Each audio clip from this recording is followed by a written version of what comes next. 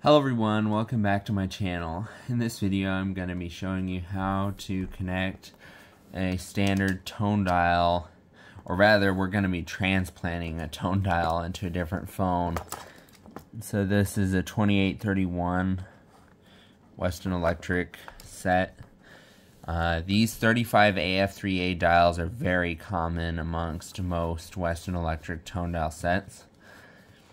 Uh, so you can usually find them in call directors and uh, it was used in more standard business applications because these dials are also speakerphone compatible and I'll show you that in a second.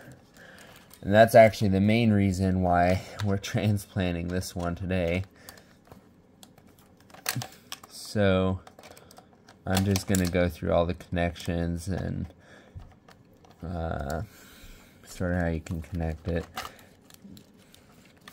Um, so I know this dial works, which is the reason why I'm taking it out of this phone. This phone, um, for whatever reason, the lines aren't working correctly, and rather than sitting and troubleshooting that for a few hours, I'd rather just take the dial out of this phone. Because um, I know this one right next to me here is perfectly working. So I know that the hook switch is a bit cleaner and I know that all of these line keys work. They go on hold. Everything's fine.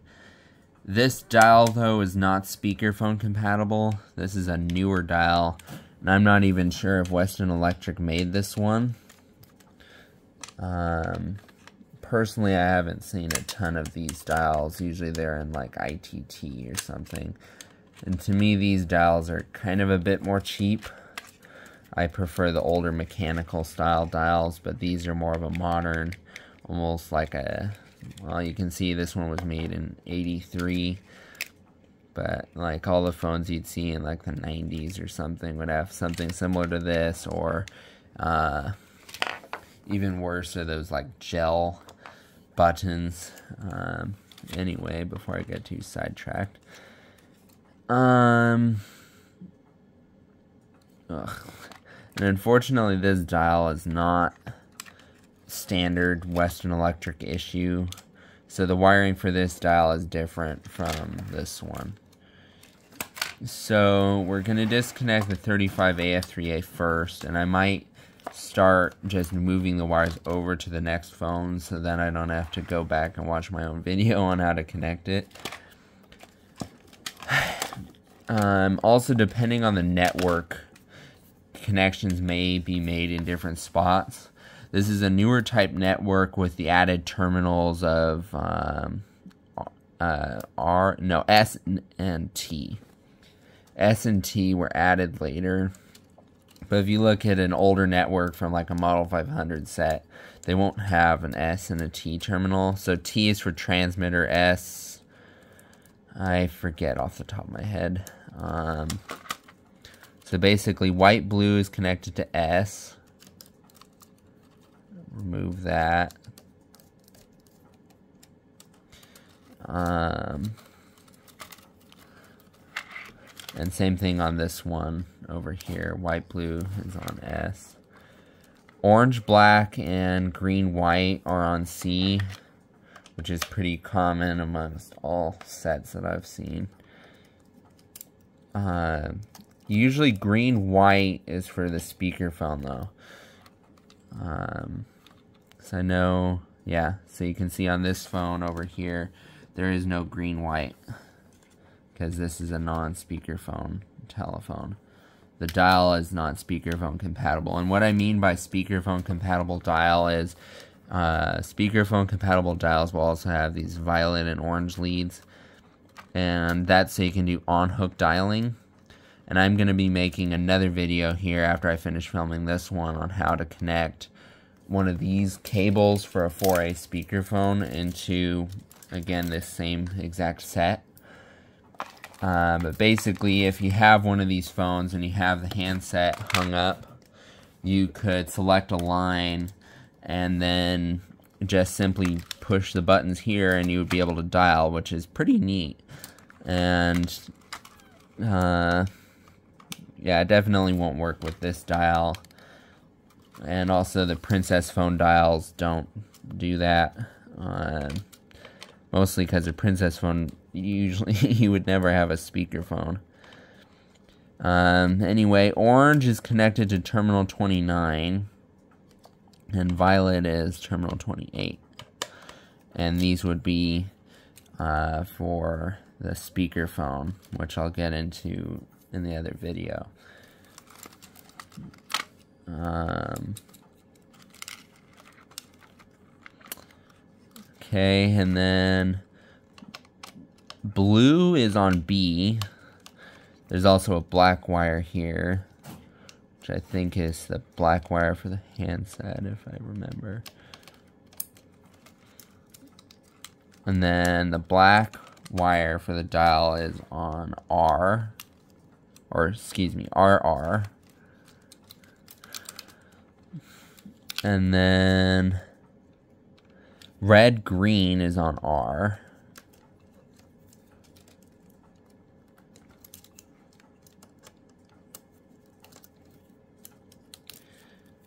Uh, white is on GN.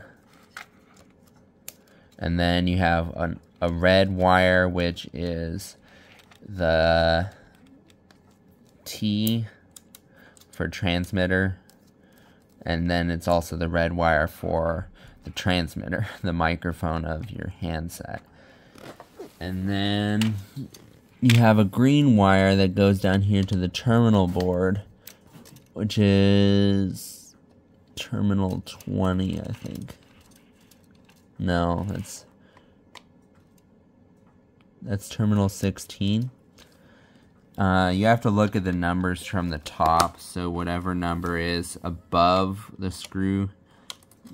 So I disconnected it from this one with this blue wire. And so that's your master tip. And so that way then the the power for the phone is being fed through the dial, so it'll power it. Um, as far as this one goes, you still have the green wire connected to that terminal 16 and white blue connected up here to S it's the same as the other one. Wish this there. Um,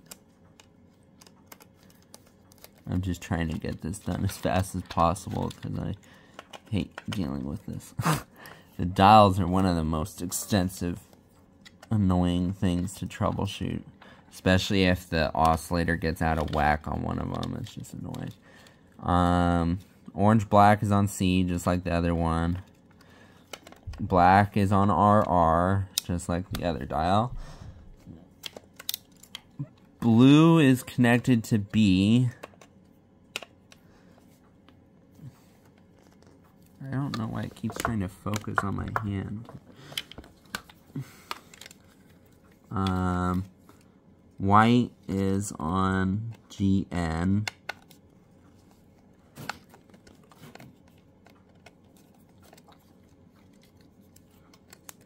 This one seems to have a lot less wires connected to the network.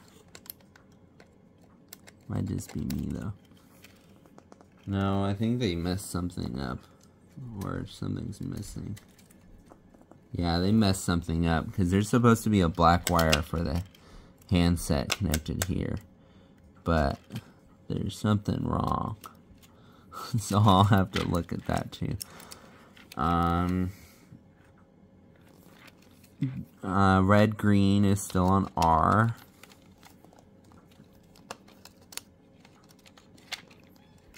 And That back down.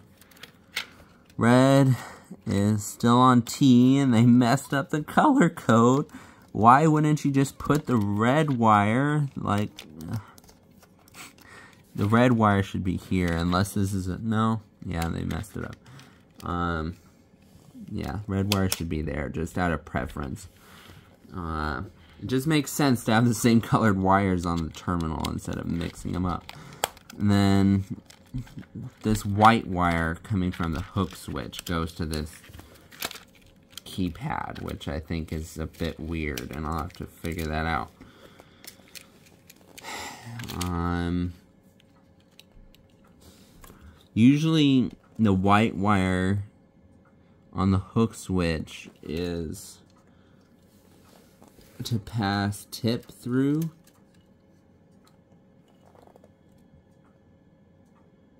Mm, okay.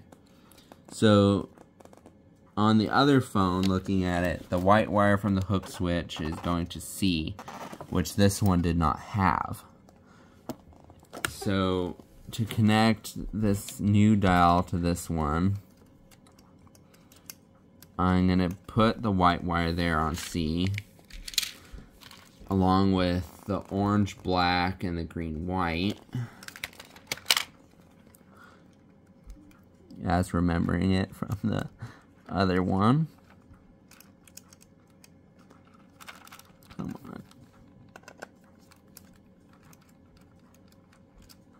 It's sometimes these little horseshoe clips don't want to actually go on because they're getting tangled up on each other.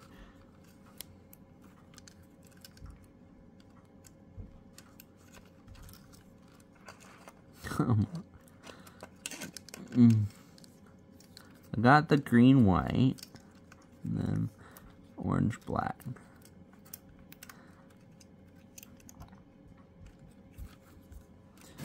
There we go. The stupid camera still. um, black is on RR.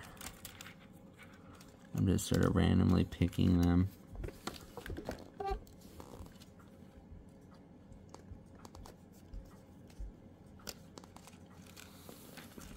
Blue is on B, which I'm going to investigate here why there's no black wire for the transmitter here.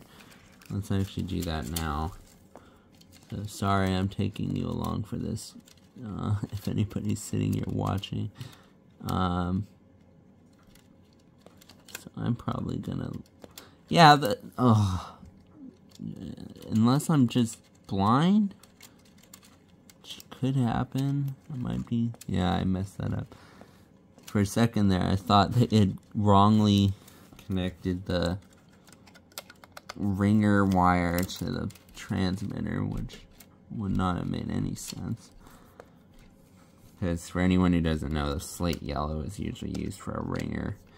And then there's a black wire there, but there's lots of duplicates of wires in these phones. And when you get a rat's nest going like they usually do.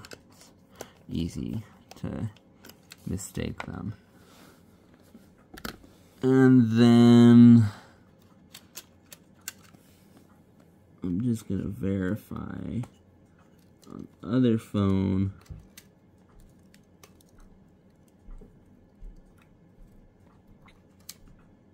where did I put transmitter? Yeah, so it looks like the transmitter is here.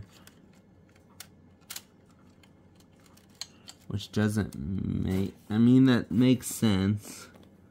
But on the other phone.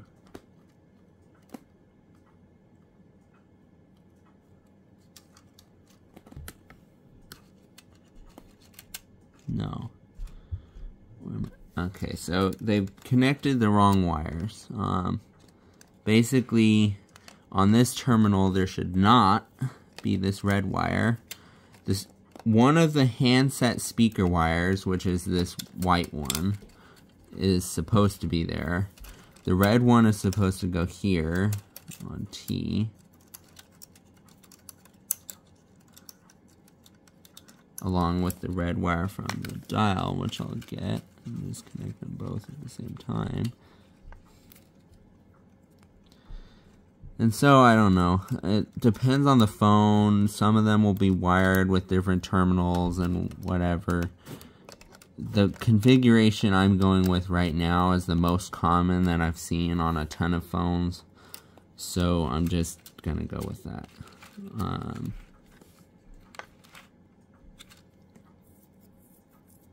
So orange, violet, and green go to the terminal board. White, blue goes to S. And I'll probably... I'll go ahead and test this sucker just to make sure I gave you the right info. But, um, it should work after I'm done. Red, green goes over to R.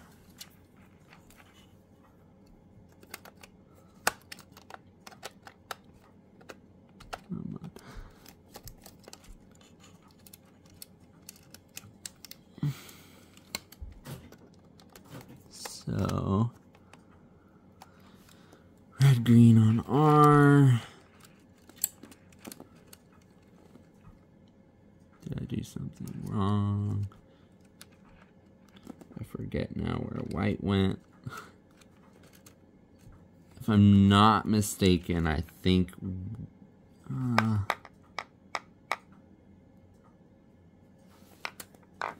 hang tight there. Um...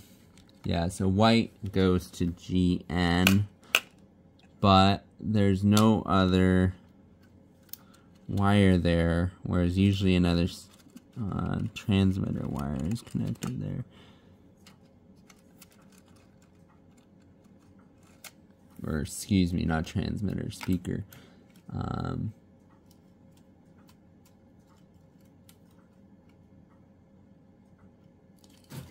Is that it? No, never mind, I'm wrong. That's, uh, that's for a flash key I was seeing the wire for.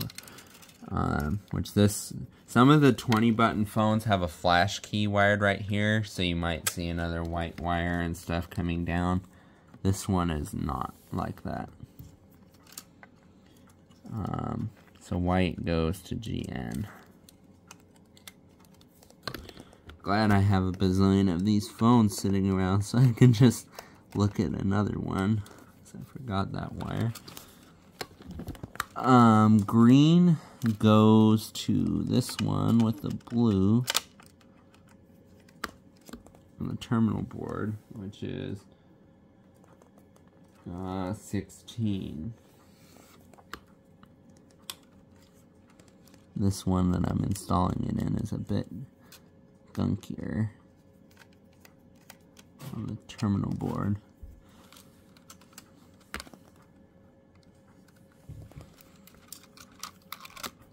And I'm just gonna um, make 100% certain that I'm connecting them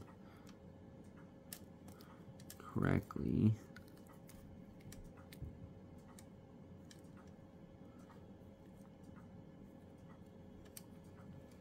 So 25 is where the orange is supposed to go. Really, it doesn't matter because as long as you get your speakerphone connections correct and know what the wire should be with orange or violet, the actual terminal board here doesn't matter because these aren't going to anything. So for most people, the orange and violet can even be capped off which is the way Western Electric usually left a lot of the phones. So there we have the dial wired up inside this phone. And we're just gonna go ahead and grab this thing and go uh, plug it in here to test in my room. So I'll go ahead and turn on my 4A, which is on my intercom. And so I just to clarify, I'm using a 4A connected to a different phone on this same intercom.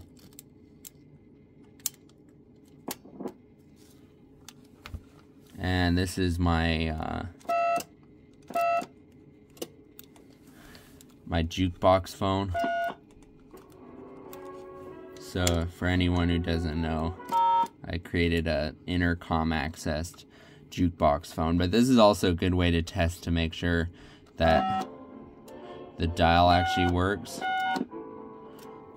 because you can actually get the intercom to dial select the different uh, songs. So everything seems like it's working. Um, so now on to the next video of uh, installing the 4A uh, cable.